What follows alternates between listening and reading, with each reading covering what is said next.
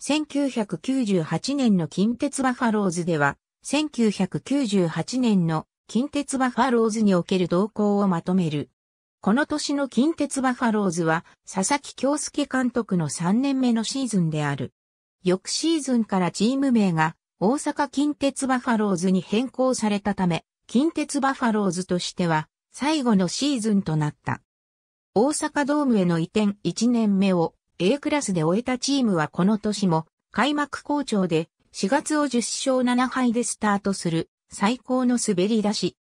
前年 A クラス復帰の原動力となったい手前打線はタフィローズとフィル・クラークと中村則弘を中心に打ちまくり、チームは1989年以来9年ぶりの優勝が期待された。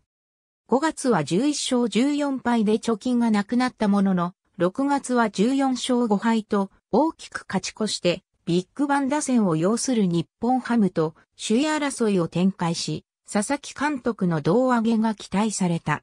7月は日本ハムに1勝7敗、月間9勝13敗と負け越し、7.5ゲーム差まで開くが、8月以降の日本ハム失速とともに、急接近。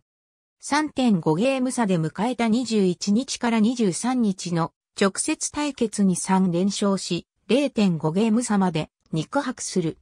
しかし25日からの6連敗で、チームの勢いは止まり、9月以降8勝15敗と負け越して優勝戦線から脱落。最後は前半 B クラスのオリックスに抜かれ、借金1ながらも5位で終了した。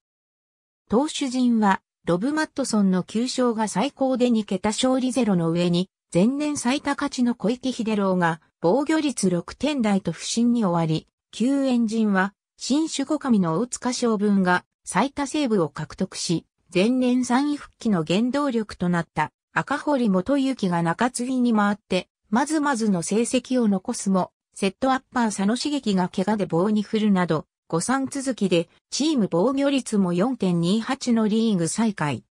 打撃陣は好調で、チーム本塁打3位の126本を記録し、149期打はリーグ1位と上位打線も活躍した。翌年から大阪近鉄バファローズにチーム名を変更し、球団創設50周年を迎えることになる。ありがとうございます。